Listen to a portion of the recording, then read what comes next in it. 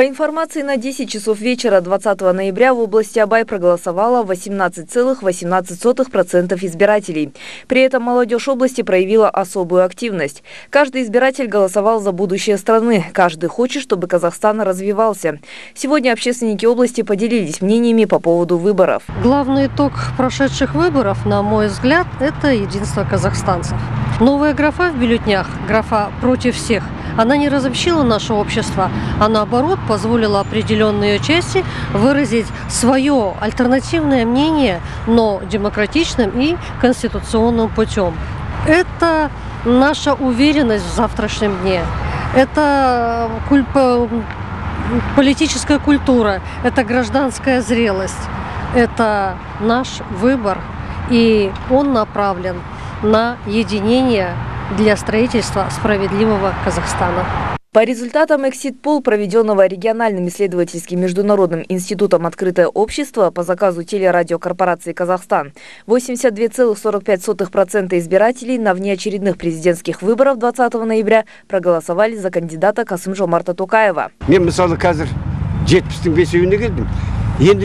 Мне, например, сейчас 75 лет. Теперь я не знаю, приду ли я на выборы через 7 лет, доживу ли я до этого момента или нет.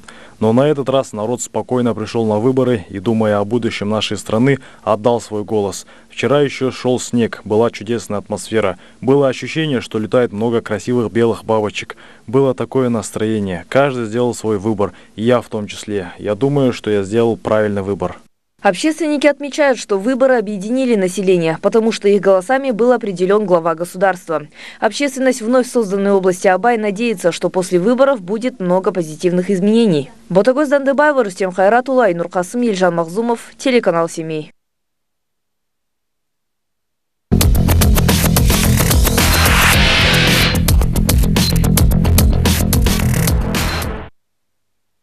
Под председательством Акима области Нурлана Уранхаева состоялось первое заседание Межведомственной комиссии по противодействию коррупции области Абай. В ней приняли участие представители антикоррупционной службы, акиматов районов, городов и областей. Первым на заседании была обсуждена проблема пассажирских перевозок – как известно, в 2021 году были заключены договоры на организацию внутригородских пассажирских перевозок с ТО «Автотранс семей», «Семавтопарк» и «Таксомоторный парк». В своем выступлении руководитель областного департамента Агентства Республики Казахстан по противодействию коррупции Адильхан Сабуров отметил, что по условиям договора город семей должны обслуживать всего 290 автобусов. Однако, по сведениям отдела пассажирского транспорта Акимата города в настоящий момент на линию выходит всего 180 автобусов. Однако при этом из бюджета в текущем году на субсидирование маршрутов выделено более 2 миллиардов тенге. По сведениям местного исполнительного органа, одной из причин нерегулярного движения автобусов является нехватка водителей. По информации административной полиции, на территории нашей области с 2000 года было выдано более 6 тысяч водительских удостоверений категории D и D1. И это не, э, не считая количества ранее выданных удостоверений. Мы считаем, что нехватка водителей не является основной, причин, основной причиной. Другой вопрос, почему они идут к ним работать. Что заработная плата их довольно низкая, в среднем не превышает 200 тысяч тенге в месяц. Адильхан Сабуров предложил организовать перевозчикам социальные рабочие места с субсидированием их заработной платы, а также применить штрафные санкции к перевозчикам за несоблюдение условий договора. Касательно данной проблемы заместитель Акима области Абай Дмитрий Гариков отметил, что в целях увеличения заработной платы водителям будут производиться перерасчет субсидий на 2023 год – также, по его словам, ежедневно в ремонте находится в среднем около 40 автобусов. По информации автоперевозчиков, а, работа по привлечению водителей проводится регулярно, в том числе в средствах массовой информации, радио, газеты и так далее. При изучении проблем организации перевозок установлено, что основными причинами недовыпуска автобусов на линию является это первое, нехватка водителей категории D и D1. Дефицит составляет более 200 человек. Средняя заработная плата водителей составляет 243 тысячи тенге, кондукторов 160 тысяч тенге. При этом выплачивается премиальным водителям в размере 30%, кондукторам в размере 20%. Он также добавил, что согласно информации перевозчиков, на 2023 год планируется приобретение 105 автобусов. Далее в рамках заседания были обсуждены проблемы некачественного ремонта дорог. Ранее на страницах социальных сетей распространялось видео, где жители Урджарского района жаловались, что 19 ноября в селе Куктерек во время снегопада активно проводилась работа по укладке асфальта на мокрую дорогу. По данному инциденту с информацией выступил заместитель районного Акима. Э, Данная работа приостановлена. По какой причине вы выделяете 140 миллионов тенге? Мы выделили 140 миллионов тенге ТО «Ярус» авансом. Проект стоит 150 миллионов тенге. Как вы можете выплатить 140 миллионов авансом объекту стоимостью 150 миллионов тенге? Тем более работа не ведется. садитесь, разбирайтесь. Далее об основных причинах некачественного ремонта дорог также рассказал Аким Бородулихинского района Ахмедкали Нургожин. В завершении заседания было отмечено, что все предложения будут внесены в протокол для дальнейшего рассмотрения и принятия решения. Айнур Касам Айдус Айткалиев, телеканал «Семей». Одна из желающих пройти обучение по программе «Бастау бизнес» и начать свое дело – многодетная мама Гульнар Мальчибаева. Мастер с раннего возраста любит шить. Мечтая связать с этим свою профессию, она изучила механизм открытия бизнеса, получила сертификат и защитила проект. Это была моя мечта, это была моя цель. Я к этой цели долго шла, пока все обдумывала, разрабатывала, как это будет в будущем, как это выглядеть будет. Эм, а получив одобрение на этот грант, защитив грант, получив одобрение на этот грант, э, мне поступили деньги в размере 400 МРП, миллион двести двадцать пять тысяч. Э, на них приобрела вот вышивальную машинку, то, что труднодоступная, дорогая вещь, парогенератор и оверлок, то, что мне необходимо было. Многодетная мать приобрела необходимое оборудование и открыла небольшую мастерскую возле своего дома.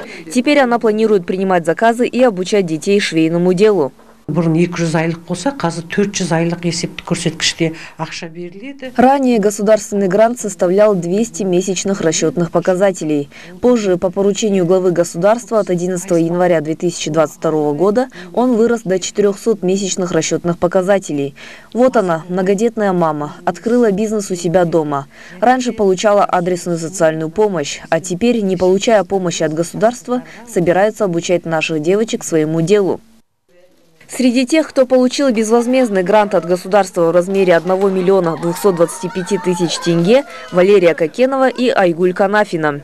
Одна из них открыла небольшое кафе и приобрела оборудование для приготовления кондитерских изделий. Благодаря государству получила грант э, для развития своего бизнеса. Кондитерки я люблю печь торты домашние. Валерия Кокенова планирует приобрести печь, миксер, весы, необходимые для приготовления сладостей. В ближайшее время грант будет переведен на расчетный счет. А Айгуль Канафина уже приступила к ведению бизнеса с помощью средств гранта. Вот мы открываем небольшой бизнес. Некоторые говорят, что нет поддержки со стороны правительства, но они ошибаются. Каждому человеку могут оказать помощь. Если человек умеет работать, есть поддержка, то нужно знать, как действовать и браться за дело. Айгуль и Лера уже долгое время говорили, что откроют бизнес. Они много работали. Мы желаем им успехов. Пусть их дела идут в гору. Государственные безвозмездные гранты предоставляются на приобретение необходимого оборудования, скота, птиц, саженцев и семян для желающих начать бизнес. В этом году по нашему региону выдан 201 грант на сумму 246 миллионов тенге. Из них молодежи выделили 117 миллионов тенге и социально уязвимым категориям граждан 128 миллионов тенге. Ботагоз Дандыбаева, Нургуль Садыкова, Айдус Айткалиев, телеканал «Семей».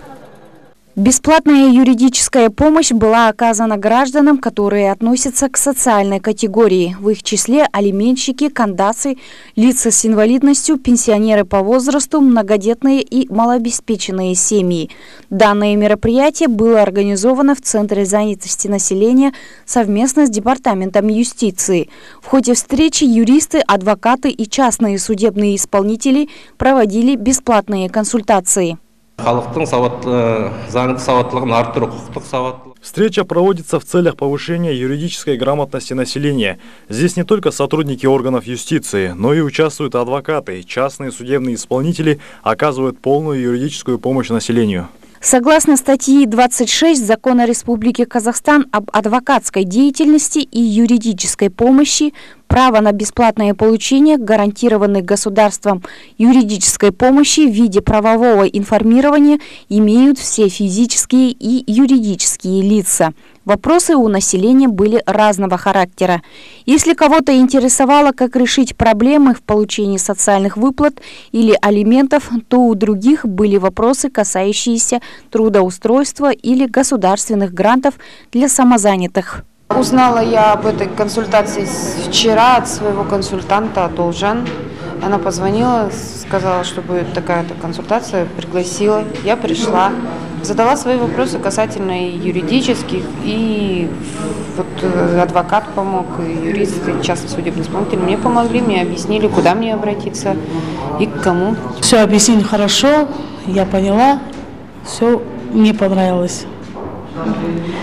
Теперь буду знать, как это все бывает, как делать надо. Стоит отметить, что данное мероприятие в области Абай проводится впервые. По словам организаторов, в дальнейшем планируется проводить такие встречи ежеквартально. Айнур Хасам, Ильжа Макзумов, телеканал «Семей». 24 ноября 2022 года в рамках республиканского командно-штабного учения КС-2022 на прилегающей территории стадиона «Спартак» проведен осмотр техники служб гражданской защиты и сводного отряда экстренного реагирования области Абай, а также формирования гражданской защиты. На построение была проведена готовность и оснащенность личного состава и техники к предстоящему зимнему периоду. Республиканские командно-штабные учения пройдут в период с 24 по 25 ноября. Эти учения проводятся в рамках э, подготовки, скажем так, э, нормального прохождения зимнего периода. Основное назначение учения – это э, проведение спасательных операций, связанных с ситуациями, возникающими на дорогах нашей области, в первую очередь, и, соответственно, связанных с аварийными ситуациями, чрезвычайными, это на объектах теплоснабжения, водоснабжения и так далее. По окончании построения проведено тактика специальное учение. Данные учения проводились на трех учебных местах – Согласно замысла, 16 января 2023 года в 9.00 часов на территории области Абай выпал снег выше ежемесячной нормы с сопровождением северного ветра 10 метров в секунду с порывами 15-20 метров в секунду в результате которого на автомобильной дороге семей Усть-Каменогорск образовались переметы. Произошло скопление 45 единиц различной техники с пассажирами со стороны города Усть-Каменогорск. Проезд в сторону города Семей невозможен. Заложниками снежного бурана остались 143 человека, из них 40 детей. Э, также непосредственно мы будем сейчас проводить тактика специального учения, где будем проверять готовность сил и средств при заносе в зимний период. Э, и помимо этого будем проверять ЭВК-пункт э, для приема эвакуированных населения. Также на сегодняшний день у нас развернут оперативный штаб на территории департамента получились области Абай, где будет теоретически проверяться готовность всех служб гражданской защиты области Абай. В рамках учения спасательные службы прибыли на место происшествия, оказали первую помощь пострадавшим, которые длительное время находились на морозе.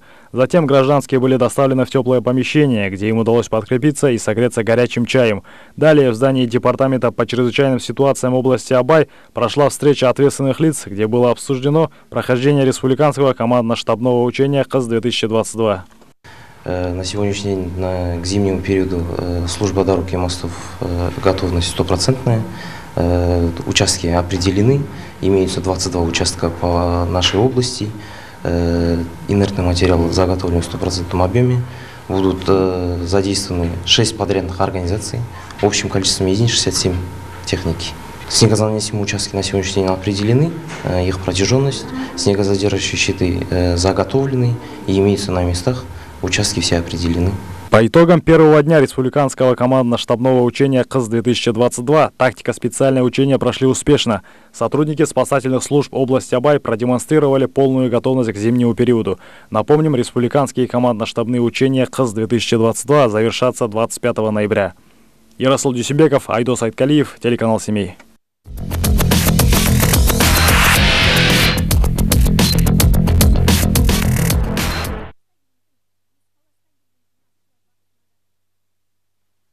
В этом году исполняется 30 лет вооруженным силам Республики Казахстан, а также 4 года со дня образования Республиканского общественного объединения «Детско-юношеское военно-патриотическое движение «Жас-Сарбаз». В честь знаменательной даты Управлением образования области Абай и региональным командованием ШИГЫС была организована выставка «Отан Аскер Жас-Сарбаз» прошел военно-патриотический форум «Жас Сарбаз». В мероприятии приняли участие около 300 учащихся из городов и районов области. Был э, форум этот форум будет продолжен в специализированном мужском лицее «Жасулан». В послеобеденное время будут знакомиться с жизнью жасулановцев. Будет проводиться собрание с военными.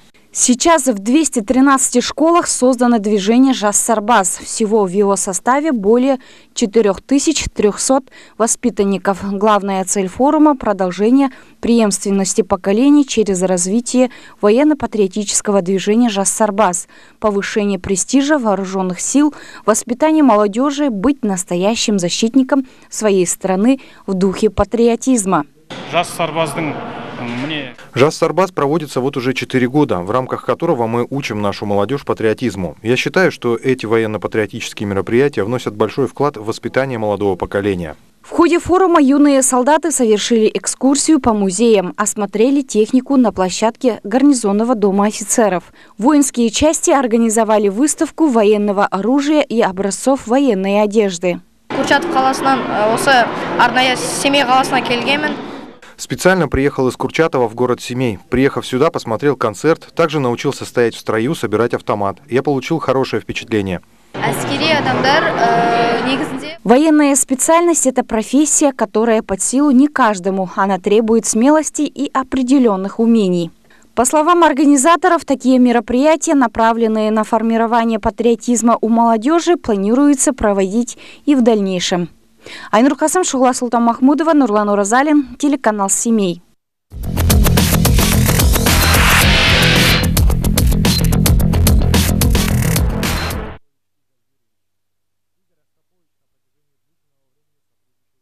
Сейчас по городу семей в очереди на жилье стоят 13 377 человек. Из них 1350 многодетных матерей. С начала года 128 человек уже получили ключи от квартир. Из них 32 многодетные матери, 25 детей, оставшихся без попечения родителей и 78 граждан из социально уязвимых слоев населения. Э, быстрее какая очередь продвигается, это э, именно очередь многодетных семей, потому что ежегодно им э, выделяет жилья, им выделяется жилье, мы выделяли им э, ИЖС, индивидуальное жилое строительство, это в поселке Комсомольский, в поселке Ушахтар, и также э, выделяет им каждый год. Соответственно, их очередь движется быстрее. Если же говорить про очередь бюджетников, то, соответственно, она не двигается. Почему? Потому что бюджетники в основном приобретают жилье по линии банка. Сейчас в области Абай сдаются квартиры по двум направлениям. Это Бахтот Басы и Аскери Баспана. По словам руководителя жилищной инспекции, сейчас в целях обеспечения жильем молодежи области планируется реализация программы, нацеленной на молодежь. Потому что очередь многодетных матерей и граждан из социально уязвимых слоев населения движется, а остальным приходится ждать. Эта программа будет способствовать продвижению очереди. Мы на сегодняшний день разработали программу по э, нашей, нашей области, это Абайжа Стары, угу. от 18 до 35 лет будет э, уч принимать участие, то есть специалисты, молодые семьи от 18 до 35 лет. В основном это будет из числа очередников, то есть те, кто имеет платежеспособность хоть какую-то, потому что программа будет проходить э, через совместно наша программа, общая совместно с Отбасыбанком. Нужно будет иметь первоначальный взнос 10%. Остальную часть э, также будет по низким процентам предоставляться эта программа именно для молодежи. При поддержке от Банка теперь по программе ОЗУИМ и 5-10-20 жители области могут встать в очередь на жилье. А для запуска программы Абай Жастары необходима поддержка Акимов области и городов. Этот вопрос будет поднят на предстоящей сессии городского маслихата, сказала руководитель отдела жилищной инспекции. Ботагоз Дандыбаева, Рустем Хайратулы, Данияр Айдарбеков, телеканал «Семей». В семье более 28 тысяч человек стоят в очереди на получение земли. Об этом на брифинге в региональной службе коммуникации сообщил руководитель управления сельского хозяйства и земельных отношений области Абай Анзор Абаев. По его словам, для индивидуального жилищного строительства по семею предусмотрено 12 жилых массивов общей площадью более 4,5 гектара. В настоящее время жилые массивы разделены на три этапа для обеспечения их строительства инженерными и коммуникационными сетями. Это зоны застройки, обеспеченные инженерно-коммуникационной инфраструктурой на сегодняшний день это два жилых массива у Шахтара и Комсомольский. Второй этап – это зоны, требующие э, организации инженерно-коммуникационной инфраструктуры, это жилой массив Ахсай. И на третий этап это зона, требующая обеспечения разработки проектно-сметной документации и далее непосредственно строительство инженерных сетей. Это еще 9 э, массивов в городе, жилых массивов в городе Семей. В ходе брифинга также были озвучены запланированные строительные работы на левом берегу города. По словам руководителя отдела сельского хозяйства и земельных отношений области Абай, в этом плане предпринимаются необходимые меры. Планом города Семей предусмотрена застройка, а, получается, левобережной части э, города да, вдоль э, набережной имеет место быть. На сегодняшний день а, проект ПДП, насколько я знаю, а, разработан, имеется. А, застройка вот по аналогии с тем, как мы осваиваем правую часть города, будет таким же образом происходить левая часть, но с учетом, как мы уже оговорились, плотности застройки, чтобы не получалось той ситуации, когда у нас кругом частные жилые дома и на 10 сотках возник какая-то пятиэтажная застройка. Также Анзор Абаев сообщил, что в этом году 478 очередникам планируется предоставить землю для строительства индивидуального жилья в поселках Ушактар и Комсомольский. Сейчас выдано 75 земельных участков, а остальные находятся в процессе оформления. Ярослав Дюсимбеков, Шаула Султан Махмудова, Нурлан Уразалин, телеканал «Семей». Автомобилисты нашего города пожаловались на качество дорожной разметки. По их словам, из-за неправильно нарисованных полос возникают пробки. Чаще всего такое происходит на пересечении проспекта Шакарима и улицы Дулатова, и на пересечении улиц Каюма Мухаммедханова и Кабамбай-Батыра. Кроме того, зимой дорожную разметку не видно. Водители нередко задаются вопросом, будут ли штрафовать тех, кто ехал неправильно из-за невидимой разметки. А, стоп-линии, которые новые сделали, они уже плохого качества, они уже много где поотлетали, вот эти вот на, наварные, как они по новым технологиям сделаны. Зимой в любом случае их не будет видно, потому что так как у нас дороги чистят плохо, фактически у нас их зимой не чистят. Прошлый год не могу сказать, что их не чистили вообще. Разметки не будет видно. А установленные камеры Сергея, если начнут читать все эти э, штрафы, люди просто останутся все наказанные.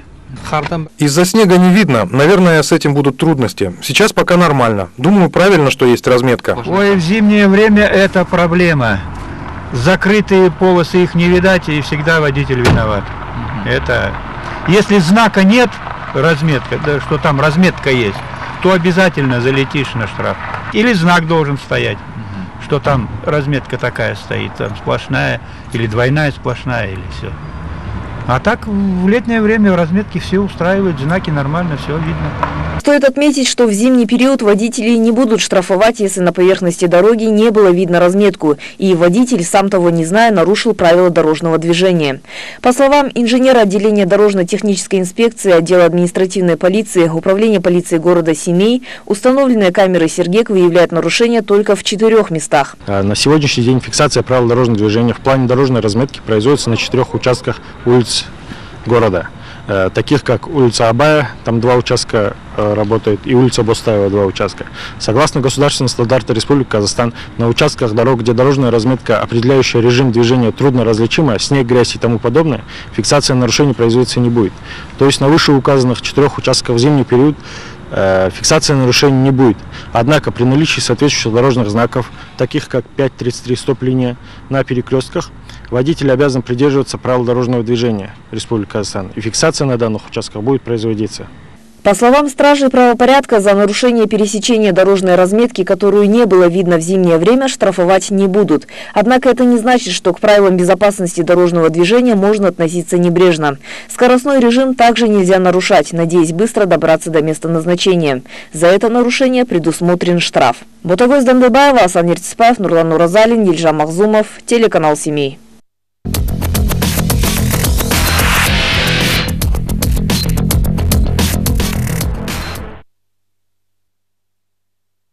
С начала года в области выявлено 50 фактов, связанных с наркопреступностью. 9 из них связаны с продажей синтетических наркотиков. Кроме того, стало известно о причастности молодых людей в возрасте от 18 до 30 лет к преступлениям, связанным со сбытом синтетических наркотиков. Они также отмечают, что сейчас в нашем городе растет и реклама наркотиков. При этом предпринимаются все необходимые меры. На сегодняшний день по области Абай, в частности в городе Семей, Сотрудниками Управления по противодействию наркопреступности э, закрашено более 110 граффити надписей совместно с волонтерами, а также неправительственными организациями. Э, сайты на наркосайты направлены на блокировку. Также сотрудники полиции отметили, что лица, причастные к наркопреступлениям, будут привлечены к ответственности. В том числе распространителям незаконной рекламы наркотиков и создателям граффити грозит до трех лет лишения свободы. Также хотим напомнить, что сбыт переработка, изготовление наркотических средств, психотропных веществ, их аналогов посредством сети интернет предусматривает лишение свободы э, на срок от 10 до 15 лет с конфискацией имущества. Торговля наркотиками – это не только серьезное преступление, но и большой вред для здоровья человека. Врачи-наркологи также отмечают, что зависимость от веществ приводит к тому, что человек начинает болеть различными заболеваниями. Вот. А коварство очень быстрая привязанность и зависимость организма от этого вида наркотиков. И второе, что последствия, что последствия очень тяжелые, очень тяжело, значит, больные э, уходят от этой зависимости. Это требуется не дни и даже не месяцы, а порой годы для того, чтобы человек полностью от. При этом мы узнали мнение горожан о том, как они относятся к зависимостям. Оказалось, что они также обеспокоены тем, что наркомания угрожает здоровью будущих поколений. Лично я категорически против наркотиков. Хотелось бы, чтобы в Казахстане не было наркотиков и чтобы запретили их торговлю. Участковая полиция должна заниматься этим. Не только они, но и все должны бороться с проблемой употребления психотропных веществ, так как у нас должно быть здоровое поколение.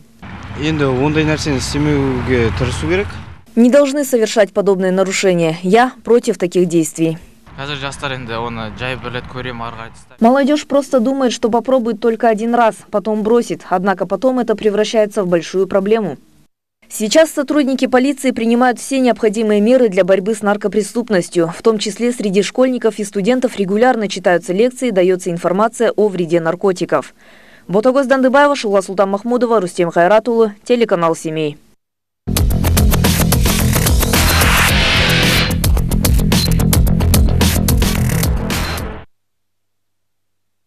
В этом году исполняется 150 лет со дня рождения учителя нации Ахмета Байтурсынова, который стал духовным лидером казахов. Сейчас его честь снимают фильм под названием «Последний приговор».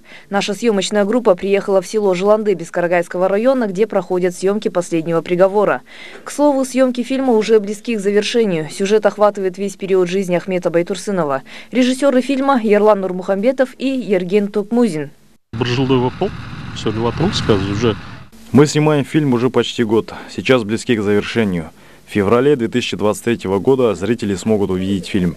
Главная цель съемок – показать зрителю, что у Ахмета Байтурсынова было очень много проблем, и мы придаем этому большое значение. Роль Ахмета Байтурсынова доверена заслуженному деятелю Казахстана Азамату Сатыбалды. Актер, который ранее представлял Акына Мукагали, серьезно относится к своей новой роли. әрине бұндай жобаға келісесің Конечно, согласишься на такой проект, потому что это другой статус. Был страх, как донести эту роль до зрителя, но думаю, я справился. Аньяр Молдобаев деген менің рөлім. Аньяр Молдобаев, роль которого я исполнил, был активным членом движения «Алаш», был современником и подопечным Абая, работал в банке. В этом эпизоде Ахмету Байтерсунову помогали выбраться из тюрьмы. Интеллигенция нации была верна своим мечтам и делала все ради страны. По словам творческого коллектива, исторический фильм должен дать зрителю много интересного. Кинокартина «Последний приговор» выйдет на большие экраны в наступающем году. Бутагой Дандыбаева, Азамат Калимбеков, Нурлан Уразалин, телеканал «Семей».